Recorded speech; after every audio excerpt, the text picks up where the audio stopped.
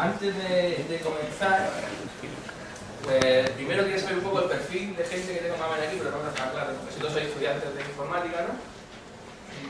Entonces creo que los términos técnicos más o menos lo vais a entender todos. Si alguien se pierde por el camino, que no pasa nada, preguntáis, ¿vale? Usted te puede enterar de que salir más o menos con la idea más o menos clara, aunque no tengáis todos los conceptos eh, a priori claros, ¿no? Eh, esto que vamos a ver, en principio, es aplicable tanto para, para entornos web como para móvil. Entonces está un poco eh, a caballo entre las dos salas. ¿no? Eh, hemos separado web room y la, la mobile room, pero realmente esta, eh, esta parte de desarrollo en la nube, puesto que se está pensado para proyectos web, en el proyecto web hoy en día ya se pueden ver perfectamente en dispositivos móviles, ¿vale? esto sería aplicable a, a ambos entornos. ¿no?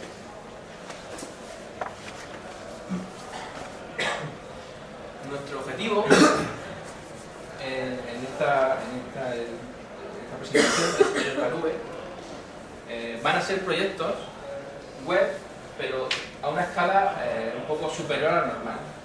Es decir, si vais a hacer una web corporativa, vais a hacer un blog, esto sobra totalmente. Esto se va a aplicar en el caso de que tengáis que abordar un proyecto eh, con una perspectiva de crecimiento muy grande voy a decir, por ejemplo, un nombre así tipo 20, un Facebook algo así, ¿no? Pero claro, los estados iniciales, ¿no? Vaya a hacer algo que va a ser así, pues, o, o pretendéis que sea eh, igual, igualmente grande, que tenga un volumen de visitas muy grande, y tenéis que preparar la plataforma desde el principio para que pueda escalar y ir adaptándose a las necesidades de la, la demanda que tenga vuestra página, ¿no? La misión, el objetivo que pretendemos es conseguir que la plataforma web esté online el 99% del tiempo. No digo el 100, porque el 100 es imposible. Se puede ir la luz perfectamente, estas cosas también. Va a descargar actualizaciones en la plataforma. Ahora momento les habrá que pararla. Pero que sea de forma controlada. ¿Vale? El resto del tiempo tiene que estar online, tiene que estar disponible. ¿Eso es imposible? Puede parecernos imposible en algunos momentos, pero es perfectamente factible. ¿vale? Se nos va a caer. Al principio, cuando si, os, si abordáis nuestro proyecto, se os caerá la plataforma, asumido, porque vendrán picos imprevistos, pero teniendo una serie de pautas y una serie de, reglas a la hora de, de hacer el desarrollo, podéis evitaros muchos problemas y conseguir minimizar esos tiempos de, eh, de inactividad ¿no? La plataforma. Bien, para entender el problema, el por qué se cae una plataforma cuando vienen muchas visitas, tenemos que ver un poco todo el proceso que interviene a la hora de servir una aplicación web. Eh, ¿Cuántos de aquí han hecho una página web alguna vez? Todos. Bien, perfecto. Entonces, todo esto más o menos va a sonar. ¿vale? Así que voy a ir rápido. Lo primero que vamos a hacer es que el navegador pues, va a recibir una petición. ¿no? Un cliente se conecta a nuestra plataforma, mete la dirección, ¡pum! Ya tenemos una petición que llega a nuestro servidor web. Vale, esa petición, ¿qué va, a generar? Pues va a generar seguramente que nuestra aplicación va a hacer una, normalmente varias, consultas a base de datos, ¿vale? Para generar la información que debe pintarse. ¿Vale? Con lo cual, tenemos que atender las peticiones, tenemos que hacer consultas a base de datos. Con esa información vamos a generar HTML. ¿Vale? Ese HTML, que lo, lo hemos puesto por aquí como un poco aparte, eh, suele ser, suele haber parte de ese HTML que van a ser módulos concurrentes, eh, recurrentes. Perdón. Eh, ¿Por qué digo recurrentes? Porque si os fijáis en cualquier plataforma web hay un montón de partes que, son comunes, eh, estemos donde estemos. Muchos elementos de la página se mantienen comunes en todas las páginas del sitio web, ¿verdad? Pues eso es lo que llamamos módulos recurrentes, que vamos a tener que ir generándolos. ¿Vale? Por ejemplo, imaginaos eh, usuarios conectados, eh, productos más vendidos, millones de elementos que aparecen ahí en los laterales de la página, ¿vale? que no son elementos fundamentales, pero que también están ahí y que requieren un cálculo para que estén ahí. ¿Vale? Luego, una vez generado ese HTML, hay que enviárselo al cliente de vuelta. ¿Vale? Cuando el navegador luego reciba eh, ese HTML, se va a dar cuenta que necesita, adicionalmente al HTML, una serie de recursos, lo que se llaman media, o ficheros estáticos. Eh, ahí se engloban los CSS, la hoja de estilo, las imágenes, los JavaScript, ¿vale? un montón de elementos anexos al HTML que también deben servirse al usuario. ¿vale? Son un montón de peticiones más que vamos a recibir en nuestro servidor. Incluso puede ser que tengamos que hacer streaming, por ejemplo, si tenemos que servir vídeos. ¿Vale? No solo servir un fichero normal, sino que hay que hacerlo de forma que se puede ir reproduciendo el vídeo mientras se va descargando, que tiene un proceso un poco distinto. Además, esas operaciones que hagamos sobre la plataforma pueden generar procesos, lo que se llaman procesos largos eh, en tiempo. ¿no? Por ejemplo, imaginaos YouTube. Alguien sube un vídeo, ¿vale? ¿Qué pasa con ese vídeo? Ese vídeo tiene que procesarse y convertirse del formato que tengáis en vuestra cámara de vídeo a formato eh, FLV. ¿Vale? H264 se tiene que modificar, ¿vale? Eso es un proceso que requiere mucha computación, requiere eh, un uso intensivo de la CPU. Si nosotros, conforme llegaran todas las peticiones de conversión de... comenzaran a, convertir vídeos así como locos, si, si se nos juntan 10, 20, 30, 50, según el tamaño de nuestro servidor, va a haber un punto en el que se va a saturar nuestra máquina, seguro, sí o sí. ¿Vale? Otra cosa que parece que no, pero también conlleva bastante tiempo es el envío de emails.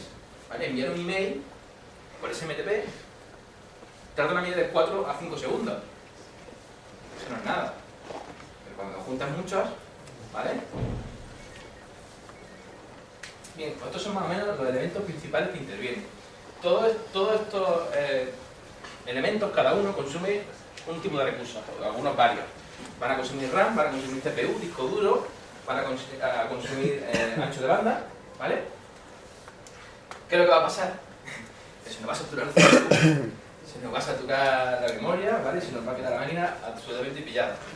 Hasta ahora teníamos estos tres tipos de servidores, que se diferencian básicamente en eh, el uso que podemos hacer de sus recursos. ¿Vale? Cuando vamos a contratar un hosting, podemos elegir un servidor compartido, en el que compartimos, como su nombre indica, la máquina con otra, otra aplicación web de otra gente. Entonces, claro, si ahora la otra página pues, tiene un pico de, trabajo, pues yo me voy a fastidiar y mi página va a ir mal. Eso no es absolutamente nada recomendable. Muy barato, pero no es nada recomendable. La siguiente escala serían los servidores virtuales, que básicamente con VMware y VirtualBox y todas estas tecnologías de hoy en día, hay un montón ahora mismo de hosting que se, que se basan en servidores virtuales, lo que te dan una máquina virtual para ti, ¿vale? en la que te garantizan unos mínimos de recursos. ¿vale? No, todos los recursos tienen a lo mejor disponibles 3 GB de RAM, pero solo tienes garantizado uno. el resto van balanceándose entre la carga que tenga la máquina física donde se aloja esa máquina virtual. ¿Vale? Y el siguiente que tenemos son los servidores dedicados. Son un poco más caros, pero esa máquina va a ser interés para nosotros para que no. ¿Vale? Ahora la cuestión es, ¿cuántas nos quedan pequeñas? ¿Cómo escala esto? ¿Esto es escalable realmente? La máquina puede escalar, pero hasta cierto punto. Tiene unas limitaciones. La máquina físicamente tiene un tamaño. Tiene un tamaño de memoria que a lo mejor le podemos pinchar una pastilla o a lo mejor no, porque la, placa no lo permite. ¿Vale? Tiene un límite. Y hasta ese límite podemos escalarla, pero una vez que hemos superado ese límite ya no podemos escalar más esa máquina. Lo que tenemos que hacer es adquirir nuevas máquinas.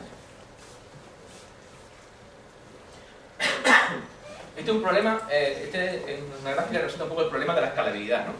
Si nosotros tenemos aquí un poco la demanda que tenemos prevista de visitas en nuestra plataforma a lo largo del tiempo, ¿vale? Las visitas realmente no van a ser así ni, ni por van, a, van a ir oscilando. ¿Vale? Vamos a tener picos, hay horas en las que hay más visitas, horas en las que hay menos, ¿vale? Ahora resulta que salimos en una noticia en el periódico, salimos en la tele, eh, de repente te viene una aluvión de visitas tremendo, ¿qué, tenemos que procurar hacer? En nuestra estimación inicial, ¿o qué deberíamos hacer? Pues esta es nuestra estimación, o intentar contratar máquinas que siempre estén por encima de esa línea. Cuando nuestro servidor esté cerca de llegar a nuestra demanda estimada, pues contratamos otro servidor o ampliamos, ¿vale? La resolución se irá ampliando en función de lo que vayamos necesitando. Pero, claro, es la aproximación tradicional, estoy hablando. Pero claro, esto tiene un problema, ¿vale? Porque puede haber picos inesperados en los que la demanda supere las capacidades de los trámites. Es muy, muy normal. ¿Vale? En ese momento, ¿qué va a pasar? Que la página se va a caer y que vamos a perder miles de usuarios sobre la marcha. ¿Vale? La plataforma caída es lo peor que puede tener. ¿Vale? Eso da una imagen a, a la plataforma. Bien, hemos visto, resumiendo, que hay una serie de elementos ¿vale? que, tenemos que tener en cuenta a la hora de resolver este, este problema de, de la escalabilidad de los proyectos. Y hay que atacar todos los elementos, no vale concentrarnos en uno. ¿vale? Como intervienen muchas cosas, hay que realmente ir optimizando cada una de esas partes. Por un lado, el servidor web, por otro lado, el servidor de base de datos, por otro, el servidor de ficheros estáticos, por otro, el procesamiento y el envío de emails, la generación de HTML y lo que sería propiamente el hosting, el alojamiento. Todos esos elementos son los que vamos a tener que resolver uno a uno para conseguir que nuestra plataforma funcione escaladamente, correctamente.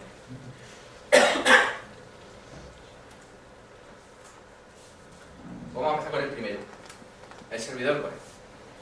Si yo pregunto a vosotros cuál es el mejor servidor web, todos, o habrá quien no sepa ninguno, que no le suene ninguno, pero el que le suene a alguno le va a sonar Apache. ¿Verdad? ¿A todo el mundo le suena Apache? Bien. ¿A alguien le suena Nginx? No tanto. No tanta gente, ¿verdad? Bien, pues Apache está muy bien. Es un servidor muy estable, muy seguro, muy fiable, muy configurable.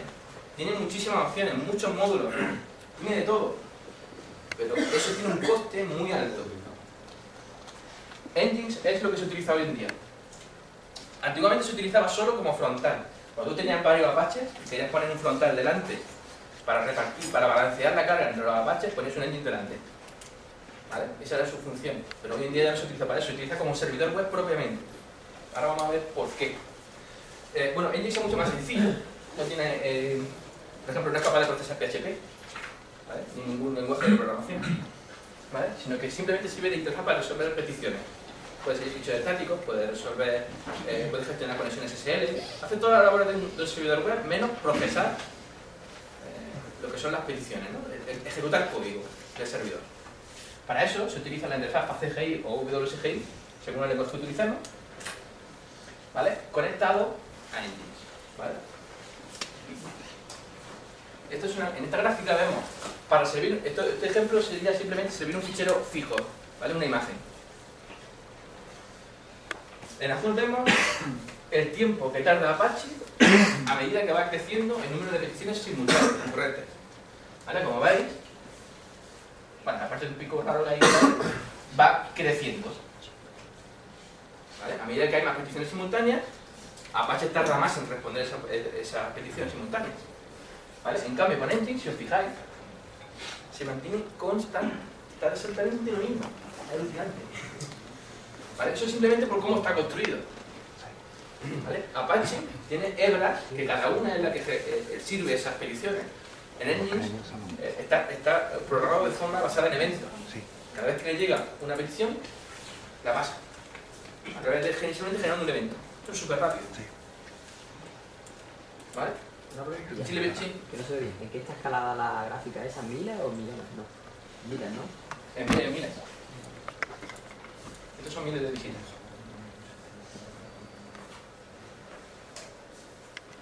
Pero es que eso no es lo mejor. Lo mejor es el consumo de memoria.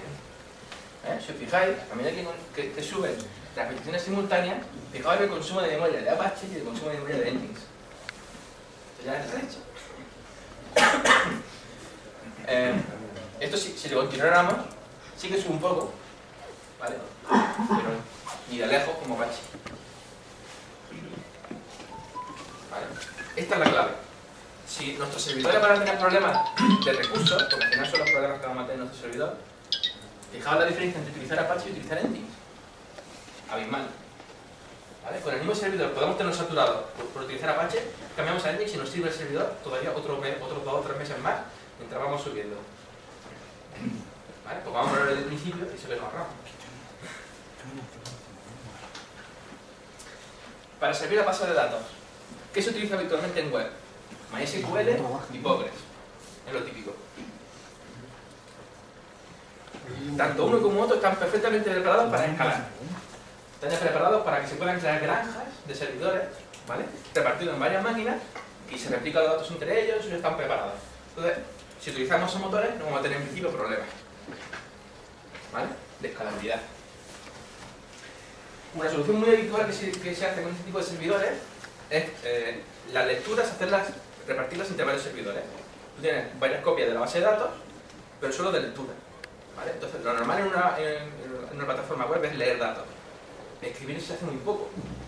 O sea, tienes muchas máquinas para lectura de esos datos y las escrituras se derivan en, uno, en solo una. ¿vale? Se centran todas en una o dos, las que, consideramos, pero muchas menos. ¿vale? Y esas máquinas, pocas, donde se hace la escritura, replican esos datos en el resto. Otra solución para escalar la base de datos es cambiar el concepto, según nuestro tipo de aplicación, que esto ya poco depende del tipo de aplicación que vayáis a, a gestionar, ¿no? Pero hay muchas en las que podemos cambiar un poco el chip y utilizar bases de datos no relacionales. ¿Vale? Son estas, por ejemplo, que son, son muy nuevas, todo esto es muy nuevo, ¿vale? Pero la demanda es que es muy nueva también. Si Facebook utilizara un MySQL, eh, podría morirse. No, cabe tanta información en una tabla, es imposible. ¿Vale? Hacer un join de tablas de millones de registros. Eso es, es la muerte para la máquina, para ser más potente que sea la máquina. Eso no puede funcionar. ¿Vale? Entonces hay que cambiar el sistema. Hay que irse a base de datos no relacionales, bases de datos basadas en objetos. En las que tú recuperas un objeto y ese objeto tiene toda la información que tiene una pantalla. ¿Vale? Toda. Y eso está todo en un objeto único. Entonces, la consulta es súper simple. Tráeme tu objeto. Eso escala maravillosamente. Claro, que tener el problema de las actualizaciones. Cuando tú metes una actualización tienes que eh, llevar esa actualización a muchos registros. Pero que las lecturas son muy pocas. Aquí el problema que tenemos es la lectura. ¿Vale? Servir los ficheros estáticos. Jamás utilicéis Apache para servir ficheros estáticos. Ya hemos visto cómo responde ante muchas peticiones concurrentes. Es terrible. ¿Vale? Jamás utilicéis Apache para eso. Podríamos utilizar Engines, que va mucho mejor. Es una opción. Pero tampoco lo voy a recomendar. Porque esa labor hay quien la puede hacer mucho mejor. Existen servicios que se llaman CDNs, Content Delivery Networks, que están especializados, tienen ser, ser, servidores especializados, con software especializado, en servir lo más rápido posible esos ficheros fijos. Porque es que no tiene procesamiento ninguno. Eh, me queda este fichero, yo te lo doy. No hay que hacer absolutamente nada. Nada más que servir. ¿Vale? Pues hay especializado para eso.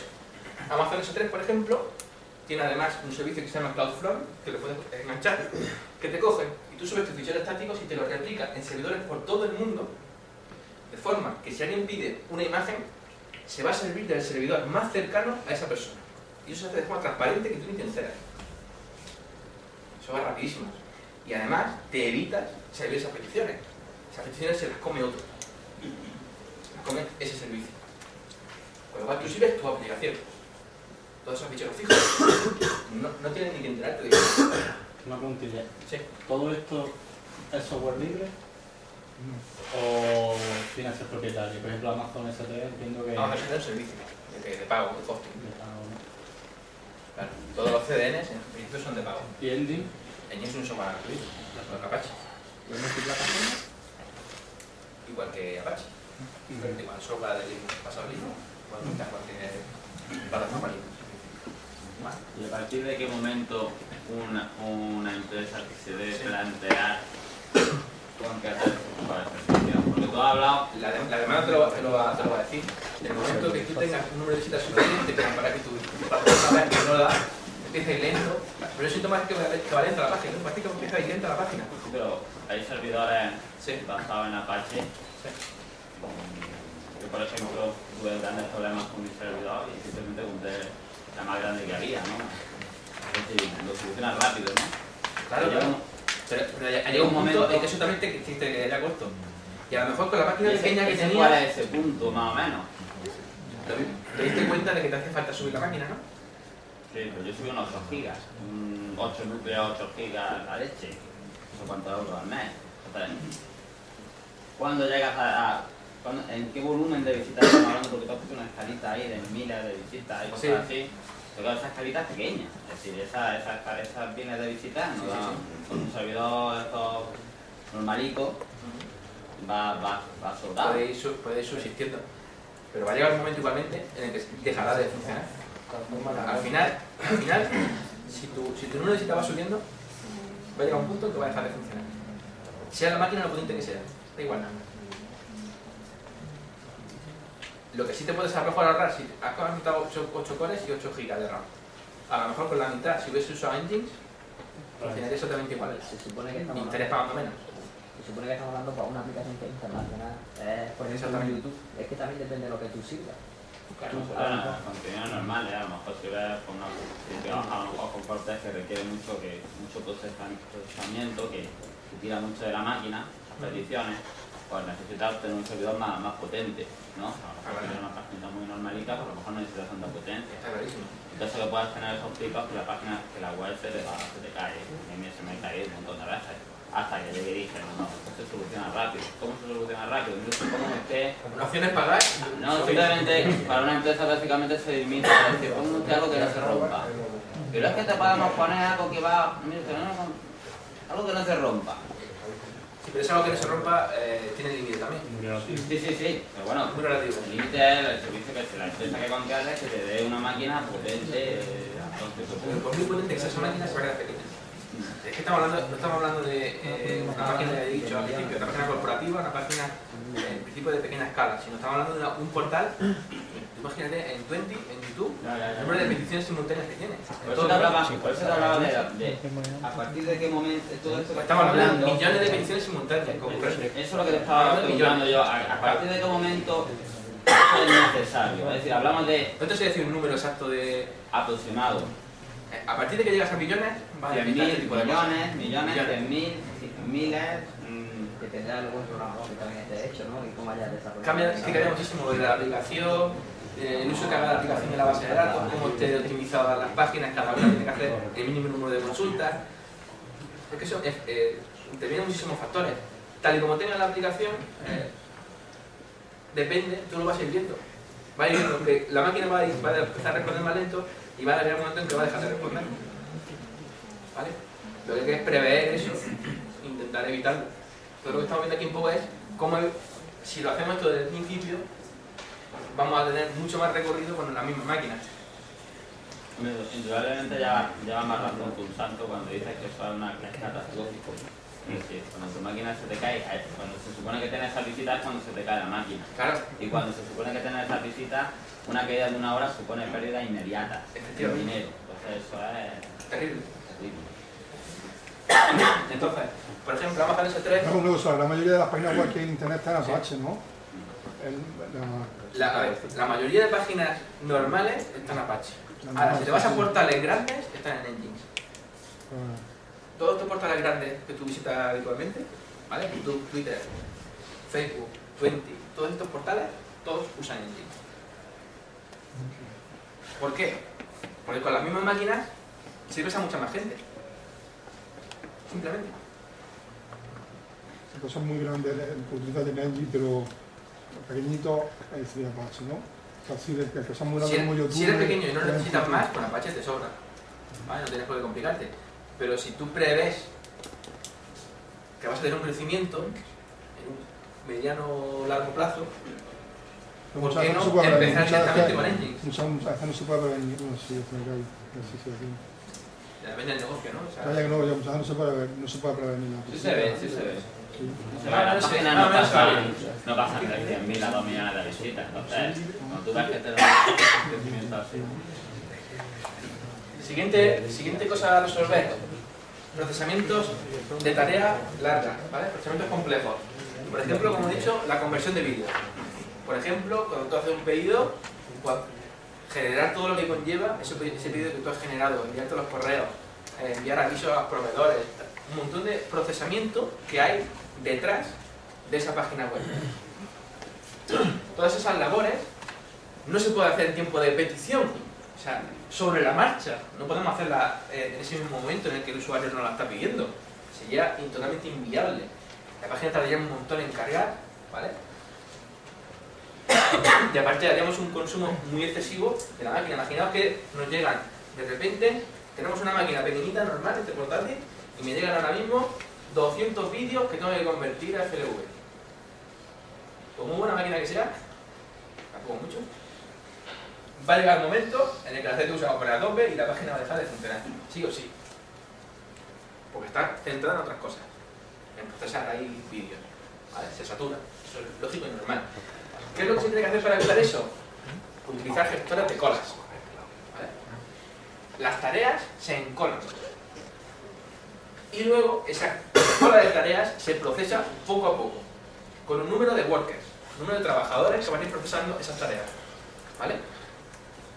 ¿Cuántos workers ponemos? Pues lo, según la demanda que vayamos, vayamos viendo que vamos teniendo. Al principio poca demanda, pues con un par de workers, a lo mejor te apañas, ¿vale? A medida que va subiendo tu demanda, pues va aumentando el número de workers. ¿Vale?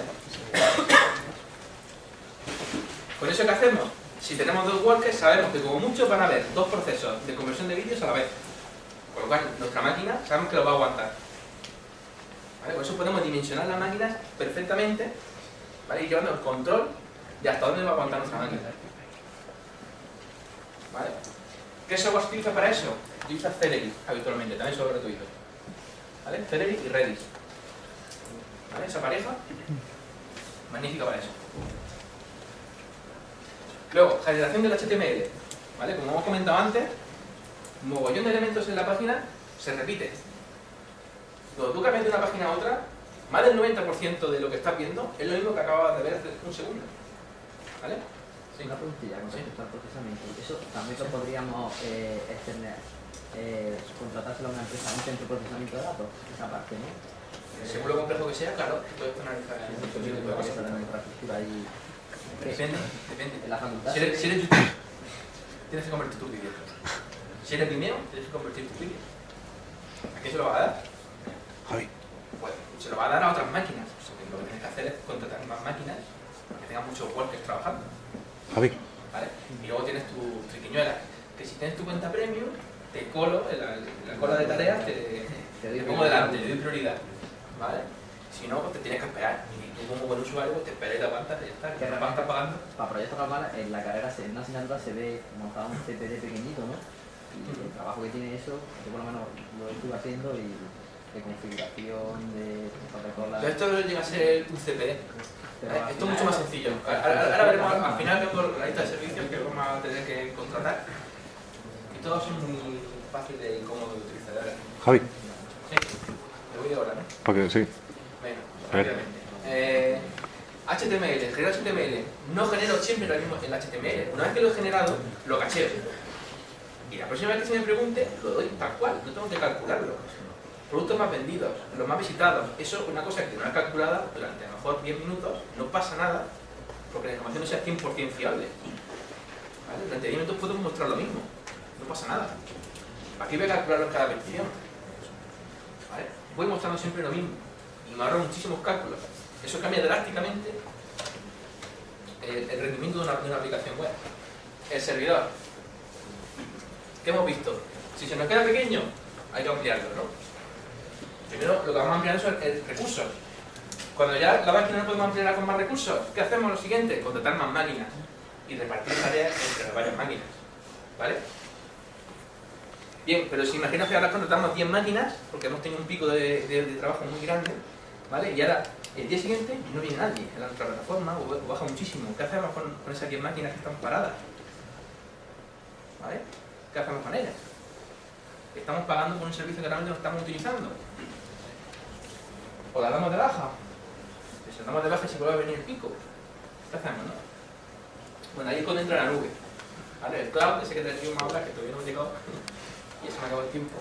Eh, esta es la solución, ¿vale?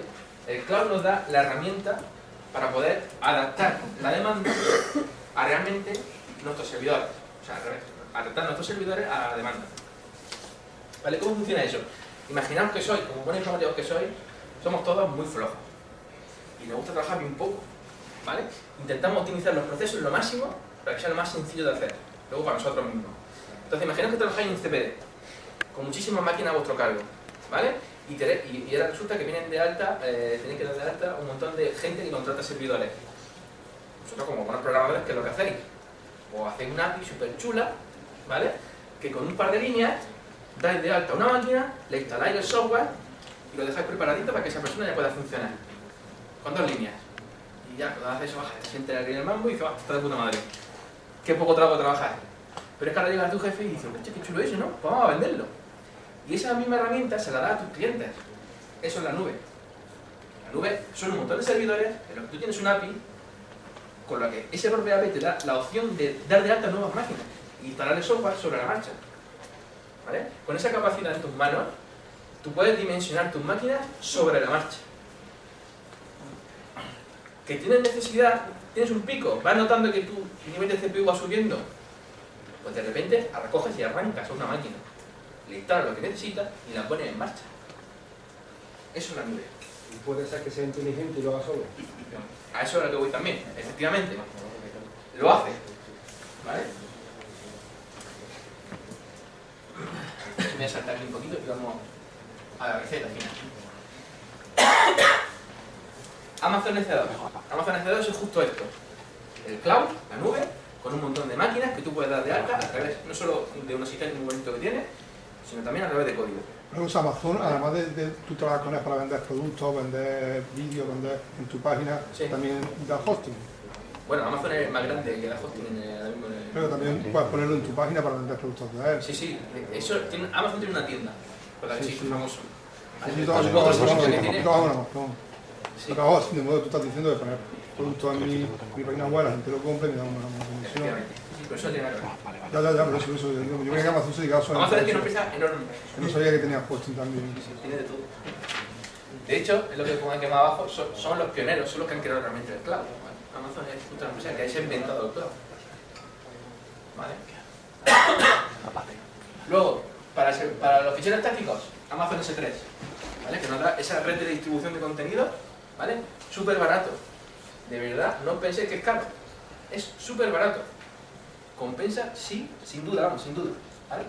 Amazon RDS te da un usuario, una IP y una contraseña, tú conectas a eso, y eso es una base de datos en la que tú lo quieras consultas y te devuelve el resultado. ¿vale? Y el por detrás se encarga de escalar lo que necesite para que eso sea rápido. ¿Vale? Y te cobran por consulta. ¿Tienes ese contrato a esos productos de Amazon en Amazon.com o un- tiene una dirección? Amazon AWS. Los dos puntos de servicio se llaman Amazon AWS. Amazon Web Services. ¿vale? Eh, envío de emails.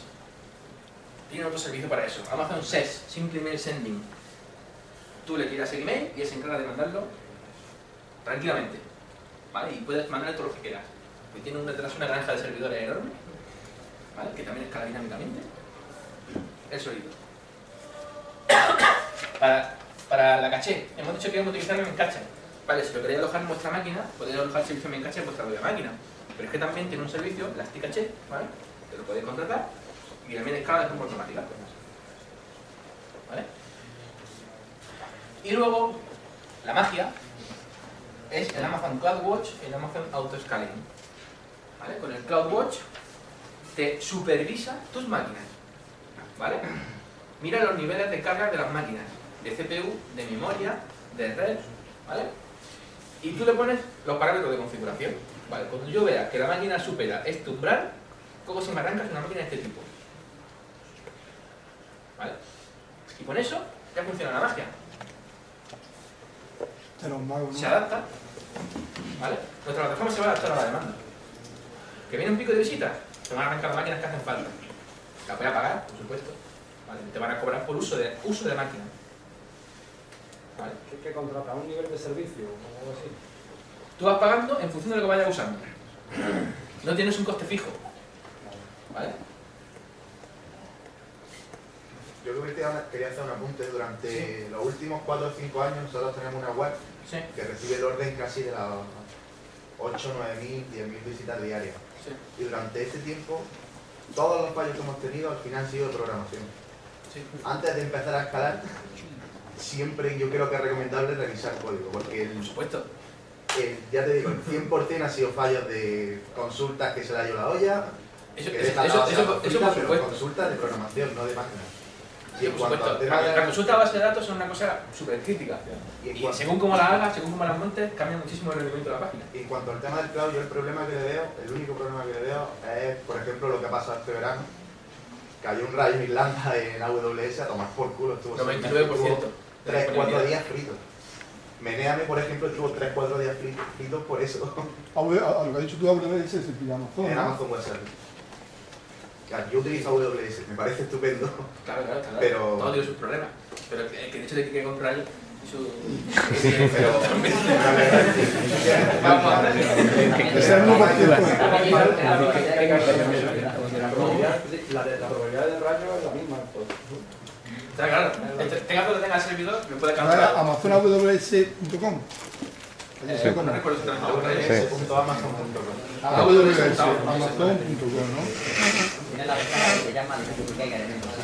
Pues ya termino. ¿Alguna pregunta rápida? y Ya cierro. ¿Algo más? ¿Nada? Ya está, muchas gracias.